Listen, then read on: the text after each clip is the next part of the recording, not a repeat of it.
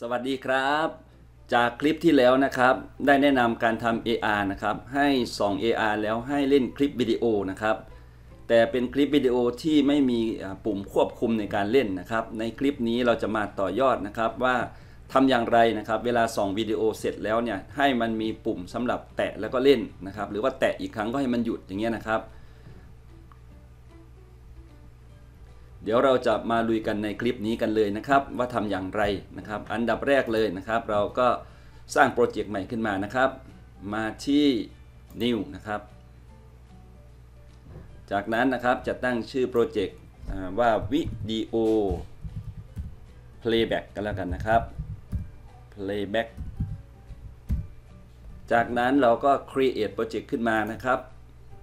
แล้วก็รอสักครู่นะครับ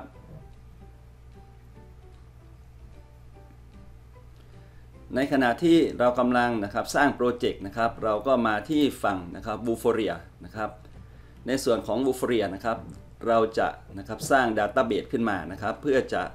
เอาภาพสำหรับไปส่องนะครับ หรือว่าตัว Target มันนะครับ คลิกมาที่ Target Manager นะครับแล้วก็มา Add Database จากนั้นนะครับสร้าง Database ขึ้นมานะครับ จะตั้งชื่อว่าวิดีโอ playback นะครับอ๋อไม่มีวรรคนะครับ ชื่อจะต้องไม่มีวรรค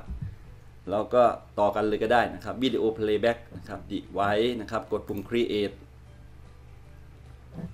จากนั้นนะครับเราก็มาที่วิดีโอ playback นะครับ คลิกลงไป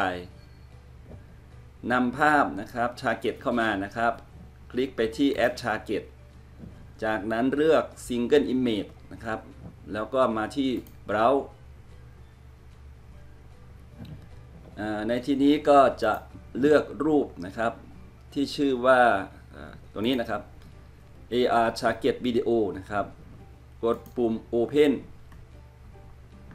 แล้วก็เลือกขนาดนะครับ ความกว้างในที่นี้ใช้ 400 ไปเลยนะครับ กดปุ่ม Add อ่าเรียบร้อยนะครับได้ 5 ดาวนะครับ แล้วก็ status ก็ activate เรียบร้อยนะครับ นี่คือในส่วนของการเตรียมภาพ marker นะครับที่เราจะใช้ในการส่องนะครับ จากนั้นเราก็ทำการดาวน์โหลดนะครับดาวน์โหลดดัตต้าเบสของเราไปให้ให้รอเลยนะครับอาจจะได้เร็วขึ้นนะครับในการสร้าง แล้วก็มาที่เลือกไปที่ Unity Editor นะครับ แล้วก็กดปุ่มดาวน์โหลดครับ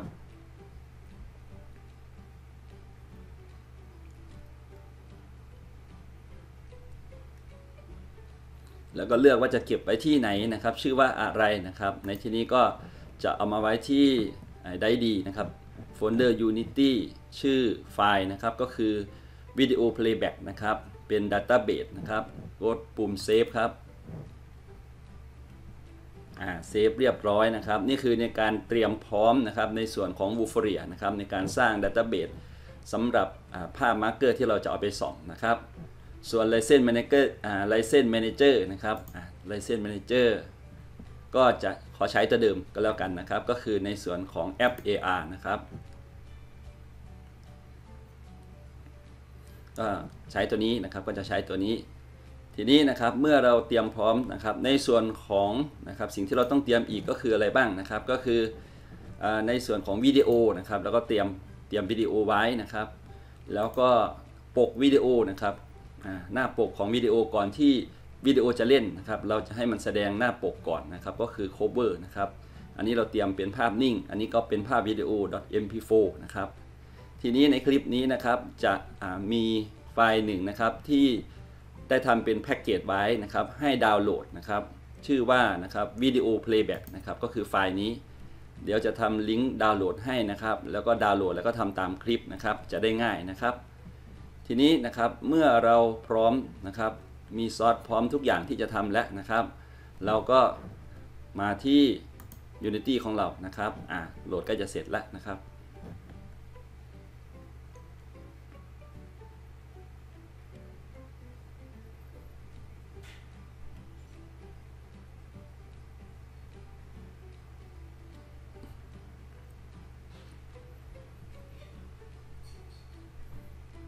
เรียบร้อยนะครับโปรเจกต์ก็เริ่มนะครับเปิดขึ้นมาครั้งแรกนะครับ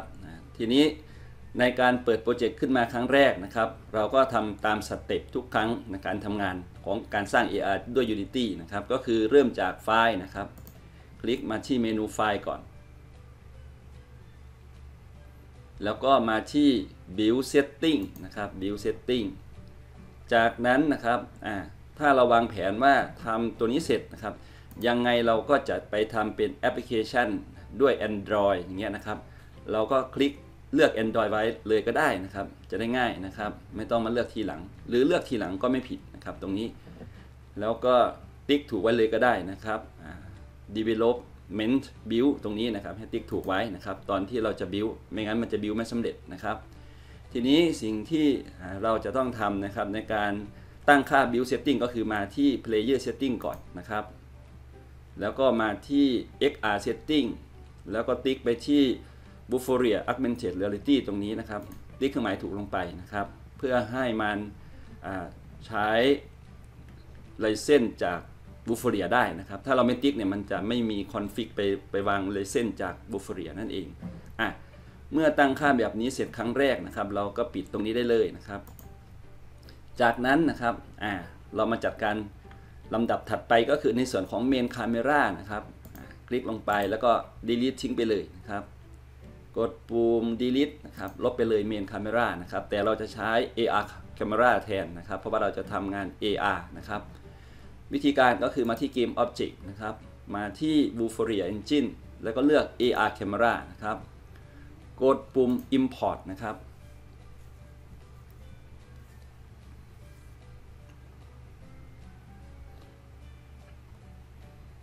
เราจะสังเกตว่านะครับในส่วนของ Assets ตรงนี้นะครับ คือศูนย์รวมนะครับโฟลเดอร์หรือไฟล์หรือสคริปต์หรืองานต่างๆ จะอยู่ใน Asset นะครับ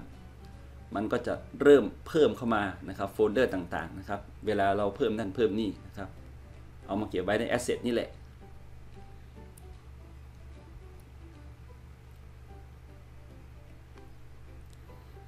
มาแล้วนะครับ AR camera นะครับ เมื่อนะครับ ได้ AR camera มานะครับ อันดับแรกเลยนะครับ มาตรงนี้เลยนะครับ Open นะครับ Vuforia Engine Configuration ตรงนี้นะครับ คลิกลงไปนะครับ เพื่อจะมาใส่ License Key ตรงนี้นะครับ จากนั้นนะครับ เปิดมาที่ Vuforia นะครับ License ของเราแล้วก็คลิก Copy License มา กลับมาที่ Unity นะครับ แล้วก็คลิกขวานะครับ วางลงไป เรียบร้อยนะครับ ในส่วนของการจัดการเรื่องไลเซนนะครับ ทีนี้นะครับเมื่อได้ AR camera ใส่ไลเซนเรียบร้อยนะครับลำดับถัดไปนะครับลำดับถัดไปก็คือ image นะครับ เราก็มาที่นะครับ game object Vuforia นะครับแล้วก็ image นะครับแล้วก็กด import นะครับ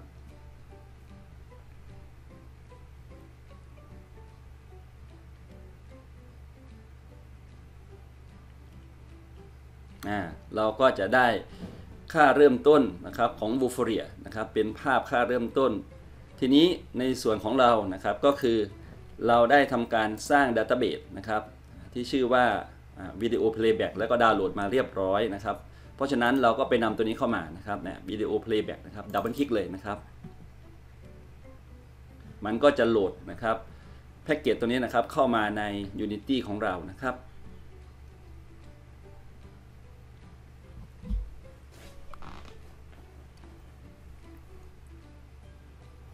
อ่ากดปุ่ม Import ได้เลยนะครับ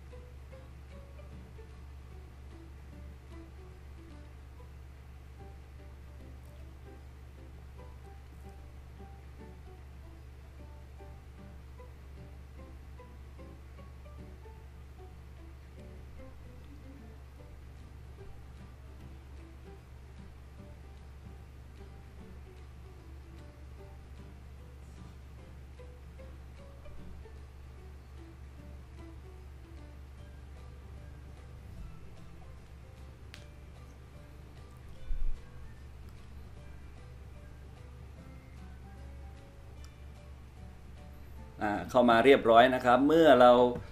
โหลดแพ็กเกจนะครับวิดีโอ playback แล้วนะครับ เราก็จะได้โฟลเดอร์ชื่อว่า sample ตรงนี้นะครับ sample resource นะครับตรงนี้ ทีนี้นะครับเราก็นำนะครับตัว database ของเราเข้ามาด้วยนะครับ ก็คืออ๋อตั้งชื่อเดียวกันนะครับ อาจจะงงนิดนึงตัวนี้มีวรรคตรงนี้ไม่มีวรรคนะครับ ตัว play วิดีโอ playback ตัวนี้ก็คือตัว database จาก w o o f e r i a นะครับที่เราสร้างเมื่อสักครู่นี้นะครับอะดับเบิลคลิกตัวนี้นะครับ จะสังเกตเห็นว่ามันจะมีข้อมูลนิดเดียวเองนะครับ ก็คือเรามีภาพเดียวนะครับ ที่เราจะนำเข้ามา แล้วก็กดปุ่ม import ได้เลยครับโอเคนะครับ ตอนนี้นะครับเราเตรียมซอสไว้นะครับสำหรับที่จะทำ AR น่าจะโอเคแล้วนะครับอะ เหลือนะครับวิดีโอแล้วก็ภาพปกนะครับ เราจัดการให้เรียบร้อยครั้งเดียวเลยก็ได้นะครับ จะได้ไม่งงโอเคนะครับคลิกขวาขึ้นมาที่ว่างตรงนี้นะครับ คลิกขวาขึ้นมา มาที่ create นะครับแล้วก็เลือกโฟลเดอร์นะครับเป็นการสร้างโฟลเดอร์เปล่าขึ้นมาโฟลเดอร์หนึ่งนะครับจะตั้งชื่อว่าวิดีโอนะครับวิดีโอเสร็จแล้วนะครับเราก็นำไฟล์วิดีโอที่เราเตรียมไว้นะครับเข้ามานะครับ แล้วก็ลากย่อลงแบบนี้ง่ายกว่านะครับ ลากไฟล์วิดีโอของเรา ใส่เข้าไปในโฟลเดอร์นี้นะครับ ปล่อยเมาส์ครับอ่าเรียบร้อยนะครับ ถ้าเรา double click เข้ามาเราก็จะเห็นแบบนี้นะครับ แล้วก็อีกไฟล์หนึ่งนะครับ ก็คือตัวปกหรือว่า video cover นะครับอ่าเอามาไว้ด้วยกันก็ได้นะครับ หรือบางทีก็บางคนก็ใช้วิธีการสร้างโฟลเดอร์ texture ขึ้นมาแล้วก็ไปใส่ก็ใช้ได้เหมือนกันนะครับอะตอนนี้นะครับในโฟลเดอร์วิดีโอจะมีคลิปที่เราจะใช้ส่องดูนะครับ แล้วก็มีปกก่อนที่มันจะเล่นวิดีโออใส่เข้ามาเรียบร้อยนะครับ ทีนี้เมื่อเราเตรียมเสร็จแล้วนะครับ ทีนี้เราจะเริ่มนะครับทำต่ออยังไงบ้างนะครับอะเริ่มจากตัวนี้ครับ มาที่นะครับ sample resource นะครับ ที่เป็นแพ็กเกจที่เราโหลดเข้ามานะครับ จากนั้นไปที่โฟลเดอร์ scene ครับ แล้วเราจะเห็นนะครับไฟล์ที่ชื่อว่า 3 image target ตัวนี้นะครับ ให้กดเมาส์แช่ไว้นะครับ แล้วก็ลากมาปล่อยตรงนี้นะครับแล้วก็ปล่อยเลยนะครับ พอปล่อยเสร็จนะครับจะได้หน้าตาแบบนี้ขึ้นมานะครับ ให้มาที่นะครับ Im- image target นะครับ feature ตรงนี้นะครับ image target feature คลิกสามเหลี่ยมข้างหน้านะครับ คลี่ลงมานะครับ เราจะเห็นวิดีโอ จากนั้นคลิกเมาส์แช่ไว้นะครับ ที่วิดีโอนะครับ แล้วก็ลากขึ้นไปตรงนี้นะครับ ใส่เข้าไปตรง image target แบบนี้นะครับ วิดีโอก็จะไปอยู่ข้างล่างนะครับ ไปอยู่ข้างล่าง image target ของเราละนะครับ ส่วนตัวนี้นะครับ เราคลิกตรงสามเหลี่ยมเล็กๆตรงนี้นะครับ แล้วก็เอาออกเลยนะครับ remove scene แล้วก็โดนเซฟนะครับ มันก็จะเหลือแค่นี้นะครับ อ่า ทีนี้นะครับคลิกมาที่ image target นะครับ image target ของเรานะครับ มาที่ database ของเรานะครับ เลือกนะครับ เปลี่ยนเป็นวิดีโอ playback ของเรานะครับอ่าก็จะได้ภาพที่เราเตรียมไว้นะครับ ที่จะเอามาส่อง AR นะครับอ่าแล้วก็หมุนลูกกิ้งเมาส์นะครับอ่าหมุนออกจากตัวก็เป็นการซูมเอาออกมาแบบนี้นะครับ จากนั้นนะครับเมื่อเราได้แบบนี้นะครับในส่วนของ image เราจะมาจัดการในส่วนของวิดีโอนะครับอ่าคลิกมาที่วิดีโอ ว่าเราจะจัดการอะไรบ้างอันดับแรกเลยนะครับ มาตรงสเกลก่อนนะครับ คลิกลงไปที่สเกลตรงนี้นะครับ 0.1 นะครับอ่าตัวนี้ก็เหมือนกันนะครับ y ก็เป็น 0.1 นะครับ z ก็เป็น 0.1 นะครับอ่าใส่ไปทั้ง 3 ค่าแบบนี้เลยนะครับ จากนั้นนะครับเราคลิก ลงไปที่วิดีโอแล้วนะครับ เดี๋ยวหมุนก่อนนิดนึงนะครับหมุนดูทางนี้ก่อนอ่าเราจะเห็นตรงนี้นะครับว่า ตัวที่เป็นวิดีโอนะครับมันลอยอยู่ด้านบนนะครับ มันยังลอยอยู่ด้านบนนะครับ เดี๋ยวเราเอามันลงมาด้านล่างนิดนึงซูมเอาออกไป ใช้มูฟนะครับดึงมันลงมาฟืบแบบนี้ ครับ จากนั้นเราก็ครับปรับตรงนี้นะครับสูงเข้ามาใกล้ๆนิดนึง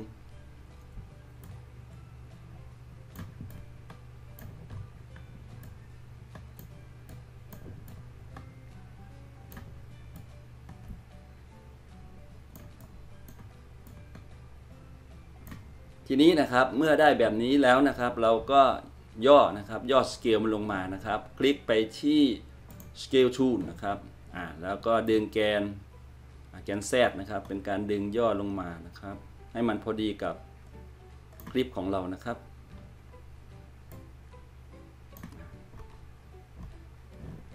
move scale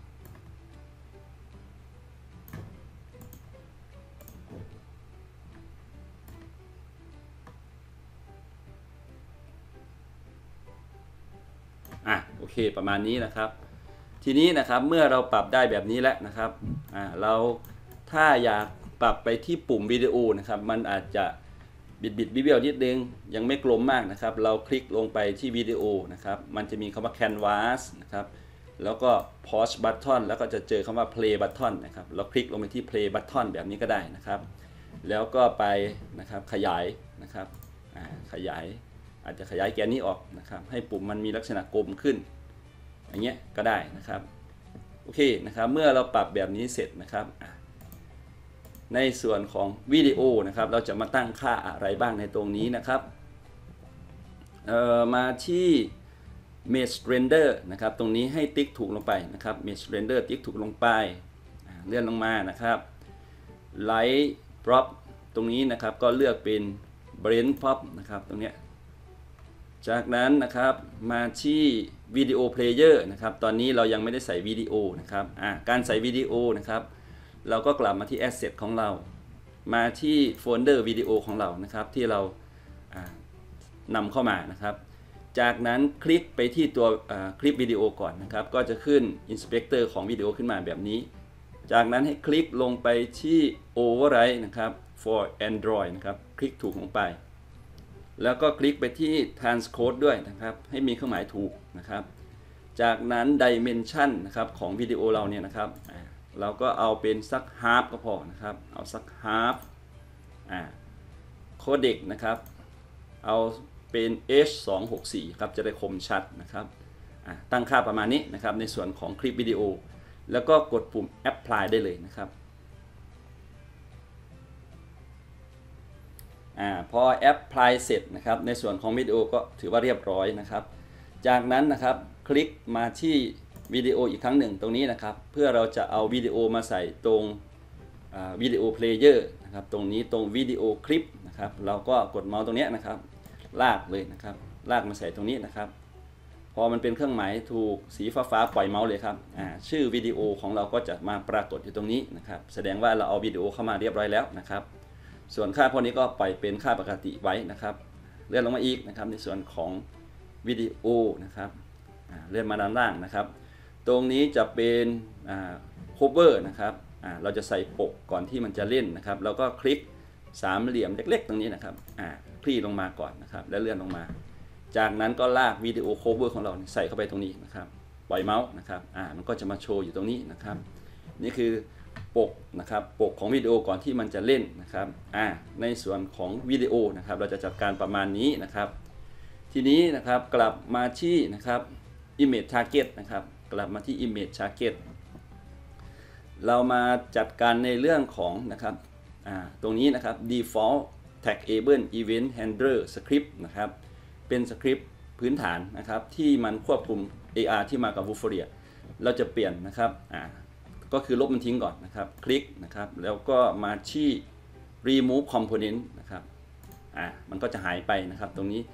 และนะครับให้ทำการเพิ่มสคริปต์ตัวใหม่เข้ามานะครับอ่าเลื่อนมาด้านล่างครับ จะเห็นคำว่า add component ตรงนี้ คลิกหนึ่งครั้งครับ เสร็จแล้วนะครับ เลื่อนมาที่นะครับสคริปต์นะครับ คลิกลงไปที่สคริปต์จากนั้นเลื่อนลงมาอีกนะครับ มาที่วิดีโอนะครับ trackable event handler นะครับให้เลือกตัวนี้นะครับ คลิกนะครับอ่าเรียบร้อยนะครับ เป็นการนำสคริปต์ที่จะมาควบคุมนะครับ ปุ่มนี้แหละให้เล่นให้หยุดนะครับ โอเคนะครับ เมื่อได้สคริปต์เสร็จทำไงต่อนะครับอ่าเราก็มาฝั่งนี้นะครับ โดยการคลิกขวาขึ้นมานะครับ คลิกขวาขึ้นมาที่ว่างมาที่ UI นะครับ แล้วก็มาที่ Event System นะครับ คลิกลงไปนะครับให้มันปรากฏอยู่ตรงนี้นะครับ Event System เสร็จแล้วเราจะทำการเซฟ scene ทั้งหมดนี้ไว้นะครับ วิธีการนะครับมาที่เมนูไฟล์ แล้วก็ Save As ครับ จากนั้นนะครับให้เก็บไว้ที่ Asset นี่แหละนะครับ ตั้งชื่อนะครับ ในที่นี้ผมจะตั้งชื่อscene ว่าวิดีโอนะครับวิดีโอ playback นะครับวิดีโอ playback กดปุ่ม Save ครับอ่าเราก็จะเห็นนะครับไฟล์นี้ scene นี้นะครับ อยู่ตรงนี้แล้วอยู่ใน Asset เราเรียบร้อยนะครับ เมื่อ save แล้วทำไงต่อนะครับอ่ามาที่ไฟล์อีกครั้งหนึ่งนะครับ มาที่ build setting นะครับ มาที่ build setting จากนั้นนะครับมาที่อ่าตรงนี้นะครับเราจะเห็นว่า scene in build นะครับมันจะไม่มีอ่า ซีนใดๆนะครับ ตอนนี้ให้เราคลิก add open scene ขึ้นมานะครับอ่าพอคลิกเสร็จมันจะมีคำว่า video playback นะครับ เครื่องหมายถูกตรงนี้นะครับ มันจะโชว์แบบนี้นะครับ ถือว่าโอเคละ จากนั้นก็ก่อนที่จะรันทดสอบนะครับ เราก็มาที่ player setting เช็คอีกครั้งหนึ่งดูซิว่า XR setting นะครับ เราได้ติ๊ก w o o f o r i a augmented reality หรือเปล่านะครับ ถ้ายังไม่มีก็ต้องติ๊กด้วยนะครับ ตรงนี้ติ๊กอีกครั้งหนึ่งนะครับ เสร็จแล้วค่อยปิดตรงนี้ไปนะครับ ปิดเสร็จนะครับเพื่อความชัวร์นะครับคลิก Image Target ดูซินะครับโอเคไหมนะครับ Image Target ของเราน่าจะโอเคแล้วนะครับวิดีโอของเรานะครับโอเคอะเราจะมารันทดสอบนะครับ ว่าวิดีโอของเรามันจะปรากฏไหม